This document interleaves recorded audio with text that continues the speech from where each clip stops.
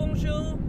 Duncan and I today are taking you to Jublains, which is um, a, it's Roman Roman ruins, and there's also an amphitheatre there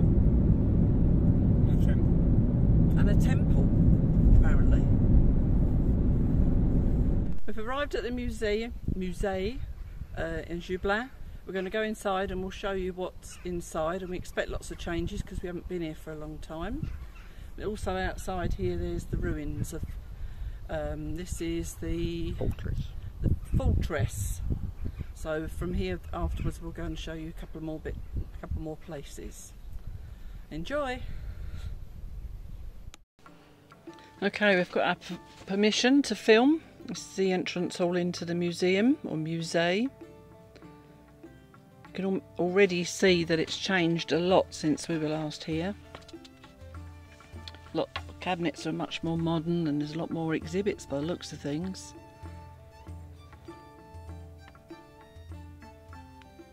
There's a couple of bits you'll see a couple of times because um, we decided to go back and just show them a bit closer up.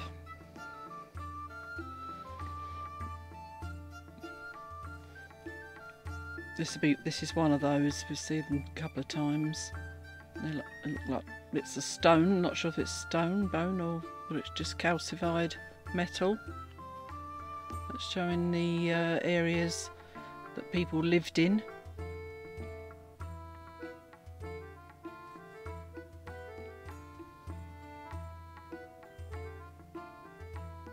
You'll notice in the reflection in the cabinets as well that one minute you'll see me, the next minute you'll see Duncan. We decided to share the film in a little bit.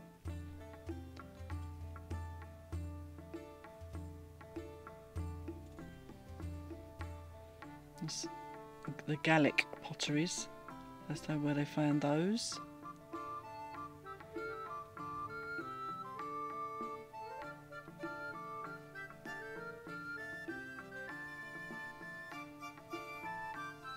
And it's also that that's in Gaelic as well.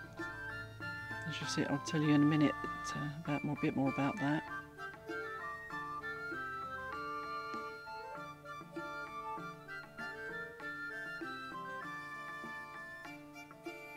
Lots of maps showing where they found things and about the area. This is those um, bits of metal again. They look like they've been making spears, spears, spears and swords. Ob- objects found at the sanctuary of Moulay. Moulay is about well, about 20 minutes from where we are, where we live. Now, these are strange pieces. They were actually they're actually called pro- proto money, a form of currency. This is a huge, almost like a pestle and mortar, that was used to crush quartz seam, and then it was melted in those little moulds, and then once it was cool, it was struck and turned into coins. You see some of the coins there.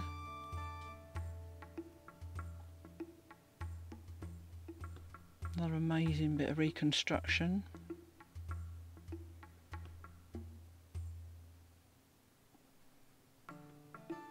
Imagine the excitement of these people when they find these things.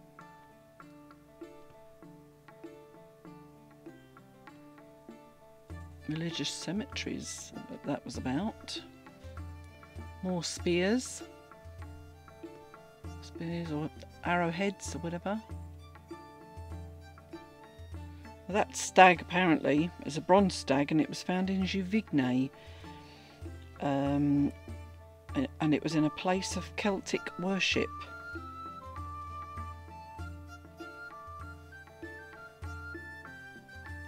Which is obviously in a sanctuary, according to that.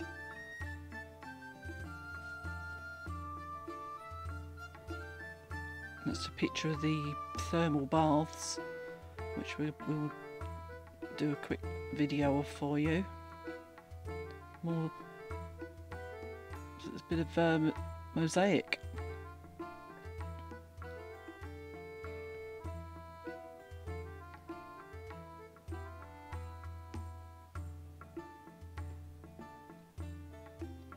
This was from St Clement Church in 1853 in Craon.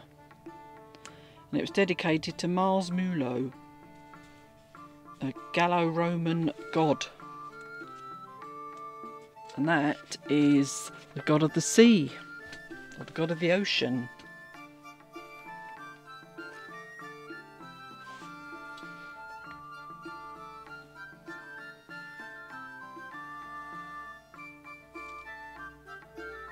That's just all about the dead that were found. As I say, we were amazed how they'd found and reconstructed some of the glass and the pottery. And look at that blue pot there. They've reconstructed that. It's incredible.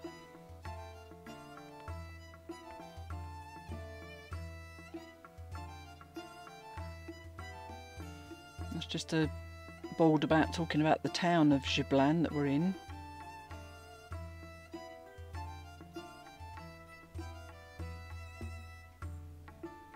As I say, there's so much to read on there, I couldn't read them all for you. Sorry, I'm moving around on my chair.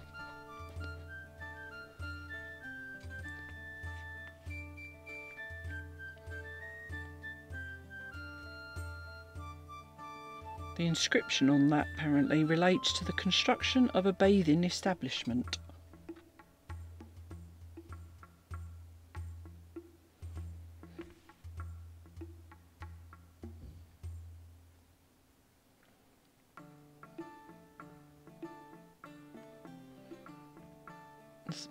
The temple of Jublains that you'll see in more in the in the, the next video. Look at that head, that tiny little statue. We did try to focus on the English writing on there, but the the light reflects with the glass, and it wasn't always possible. And look at these incredible forms here. I mean, how did they manage to carve those with the tools they had available?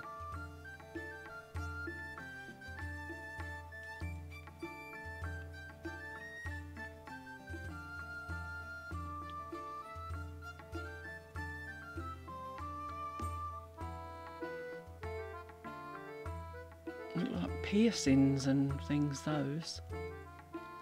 Some rings there.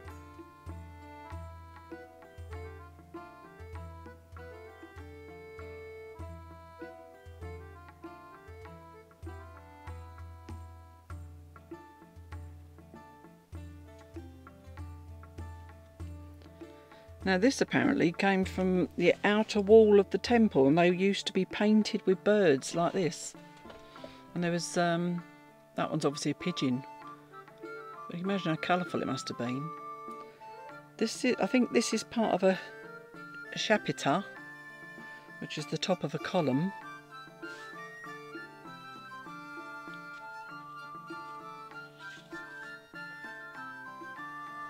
And that, that's possibly part of one as well.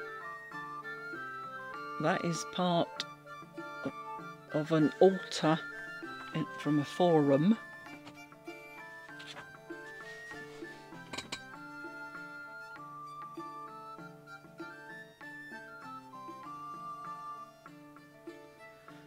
Now that board now is showing the aerial views of the theatre of Jublains, which again we're going to show you. But obviously we can't show you from that angle, so it's lucky to be able to show you that. How do they carve all those letters out of that? What does that say? And look at the detail in that beard, and just amazing.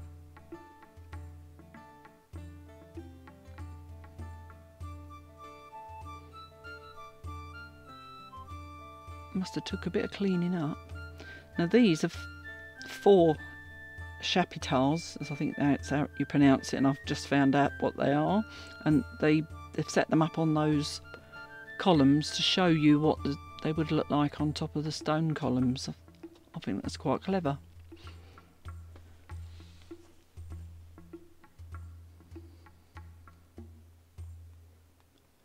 This is a model of the temple and how it was back in the day.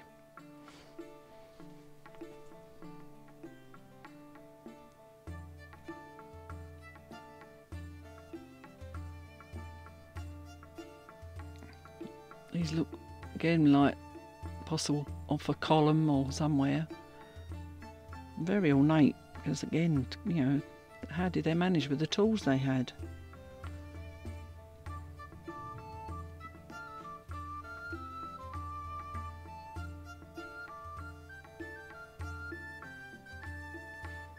Afraid I can't read that quick enough to tell you what that says. Another amazing piece of reconstruction. Look at that glass. Incredible. How on earth does it survive?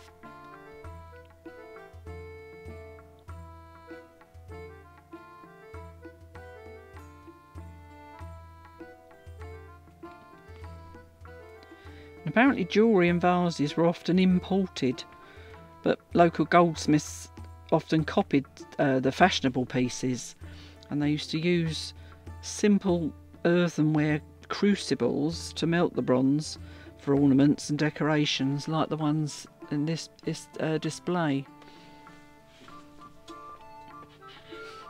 this looks like they must have been their scales.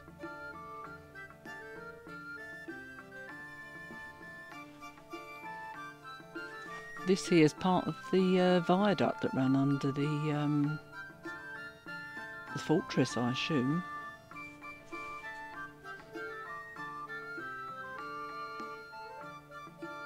This is an incredible model they've made of Jublains town itself.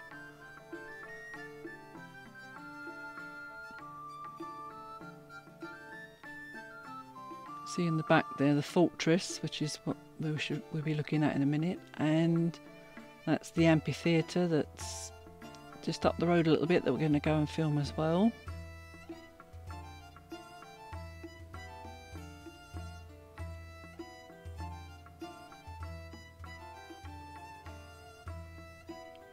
and they had the temple and a smaller version.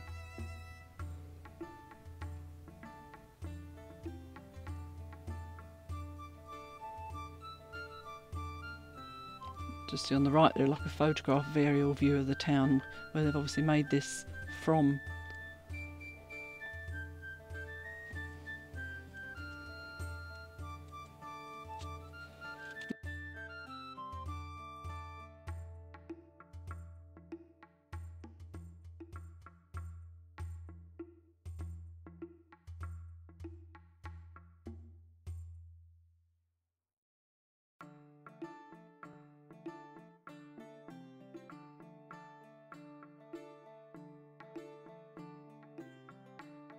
There, it shows you on on here. This is a whole list of things that they used to import. You can see on there it says wine, oil and seasoning, and ceramics. Have come from Italy.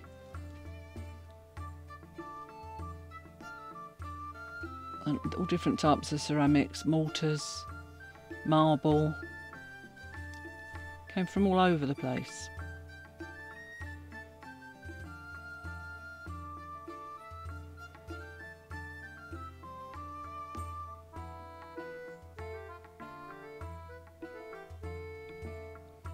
Some more coins.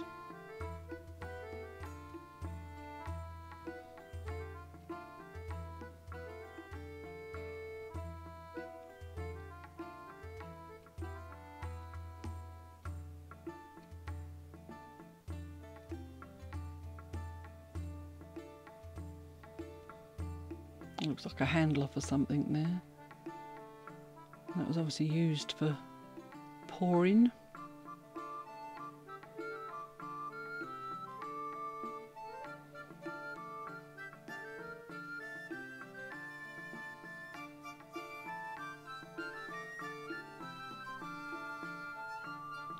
This is tableware. I mean, they used to use um, a spoon and a knife to uh, eat with, and the spoon could be made of bronze or bone, and I assume the metal, uh, the knife, sorry, would be uh, metal.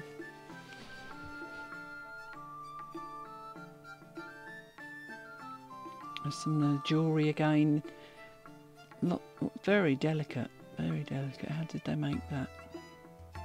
We've got the tools now to make it that delicate. How did they do it? Well, they obviously had some tools to do it because they did it. And those beads are just all carved stripes in them. I think I think I'd be likely to wear that now. That little metal piece there on that stone apparently used to a woman used to use to mix her makeup in, or a doctor would use it to mix his medic- medicines. These tiny, tiny animals. There's a fish, couple of fishes. The goat. Yes, I'm assuming that's a goat. Like a little dog. I don't know if it is or a lion. There's a boar. Not quite sure what that is.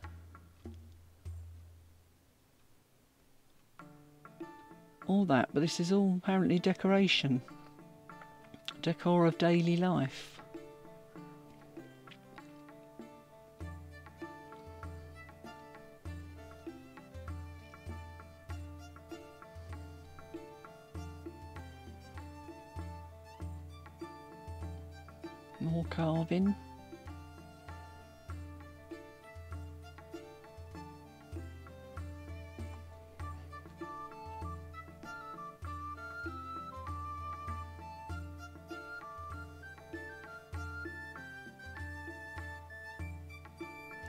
This reminds me I've made some uh, pottery myself. I've got a friend who's a very good potter, and uh, she taught me. I've thrown a, a couple of pots on the wheel, and I've actually did done some hand modelling as well, just from slabs of clay.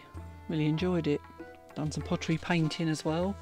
The door, the sign on our d- gîte door, I painted that. Look all those coins. I wonder how much that's worth in that in currency now.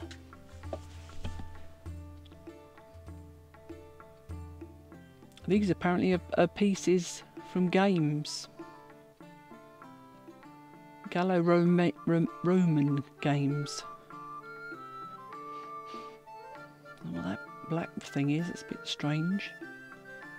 Now we're coming up to a a mock-up from pieces they've found of a domestic hearth. They used to cook the meals in a pot like that in a hearth, which would have had walls round it as well to keep the heat in. Amazing how they discover these things. That's the other side of the uh, model we just looked at. Now some mosaic they've found.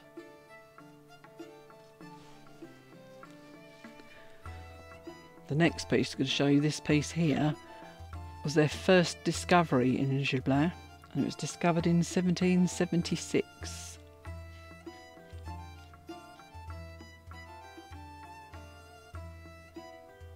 There we go, first discovery in Jublains. This is me trying to get to grips with the joystick on this computerized um, well, mock up basically of a walk around the inside of the fortress. It was quite basic, forward and back and side to side, but I it took me a while just to get it to go around corners. On the map, you follow the, the, red dot, and it shows you where you where you are on in the grounds and where you can go. I carried on down there and then went into the centre of the fortress. Obviously, not really. Then we've got a bit more jewellery, bit more, bit more bling.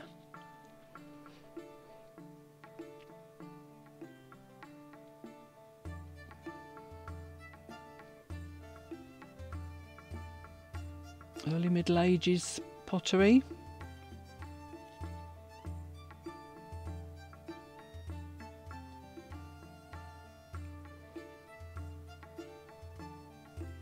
Now we're about to go out and see the fortress. There it is. More drawings of it, more plans of it. And as you can see there, there's another, yet another model of it. There must have been a lot of people living in there, the amount of towers and things. A lot of army.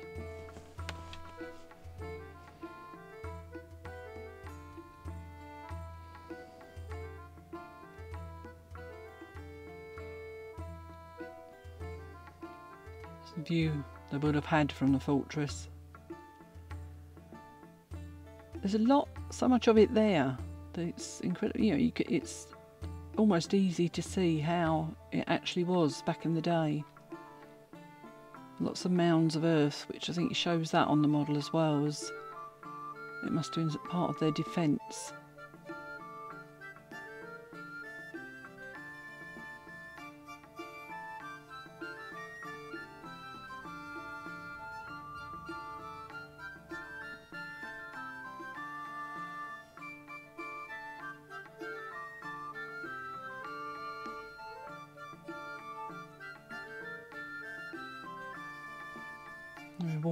Into what would have been the entrance into the fortress.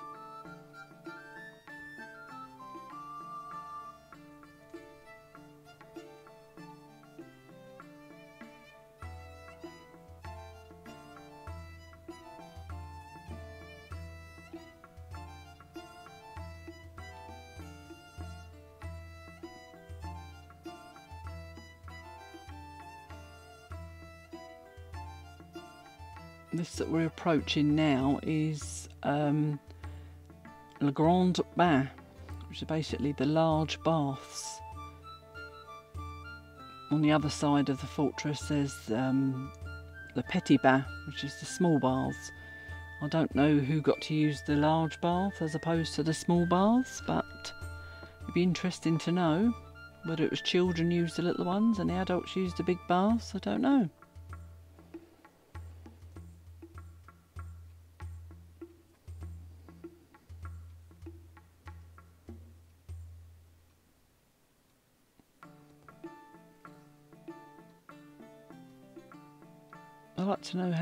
Deep these baths were, how they... How did the water get in there? It's, maybe it was in by that viaduct that we saw. And there, I'm assuming, is where they heated the water up. I don't know. Any of you historians out there know how it was done?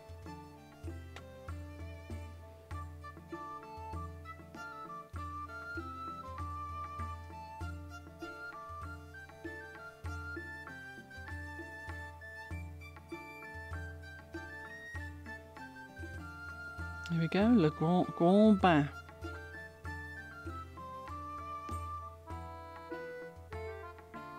Now we're going to walk round the walls. Feel free to fast forward if it's a bit too slow for you. I was trying to walk a bit slower just so as not to make it too bumpy, even though I'm now using my new gimbal, which is supposed to steady things.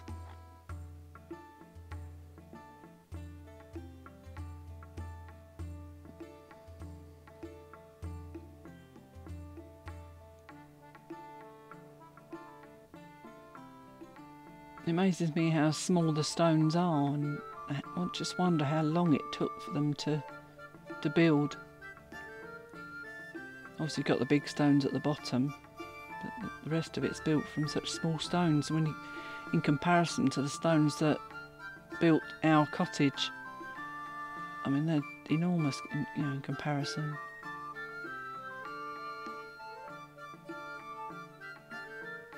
And obviously the big stones were their foundation, whereas we now use concrete.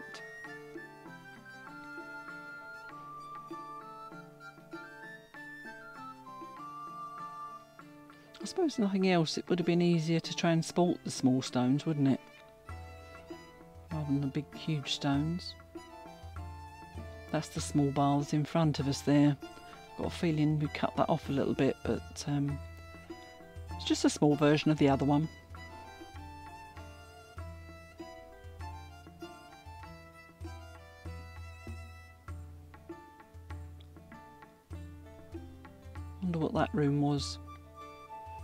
Looks like it could have been somewhere to wash your clothes, couldn't it? Like a lavoir. This door was quite small, had to duck to get through this one.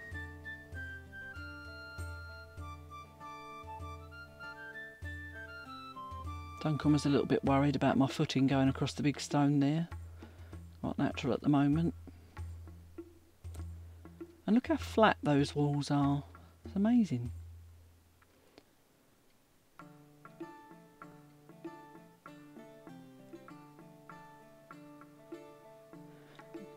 Thinking it was a shame that we didn't have a map of how they thought the rooms were laid out in the fortress. It would have been easier for me to tell you then what rooms did what, or for, for what reason.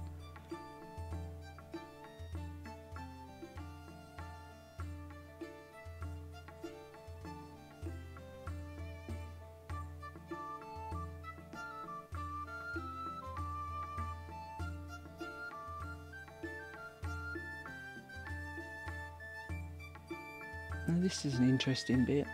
It's all been fenced off and put a grid put on for safety. There's no label to say what it is, but I I wouldn't be surprised if it was a well. If we'd have got the headphones, which we didn't even think about, maybe it would have told us on through the headphones what that was.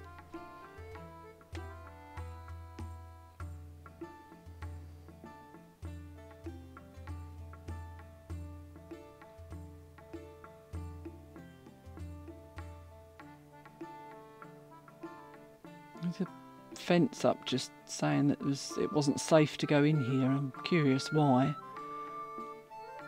Maybe there was a bit more crumbly stone in there. I don't know.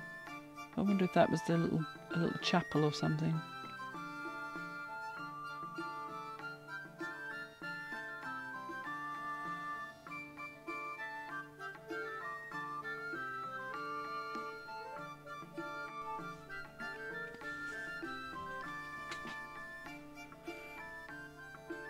Wonder what sort of doorway this was before.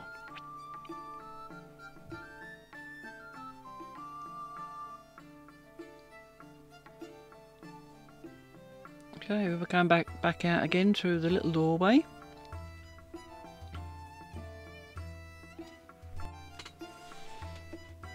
Right, there's the the petit bain.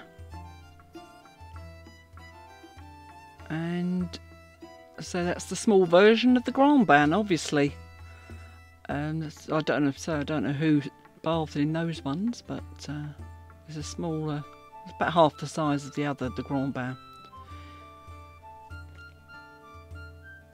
Yeah. I wonder what that bit was, the third, that bit there. So, there you go, there it says Petit Bain. Little or small bars, they're saying. They've put that roof over like they have on the other one to protect it. So we're about done now. We're leaving uh, the fortress and we'll see you in the next video. I hope you enjoyed it. Au revoir.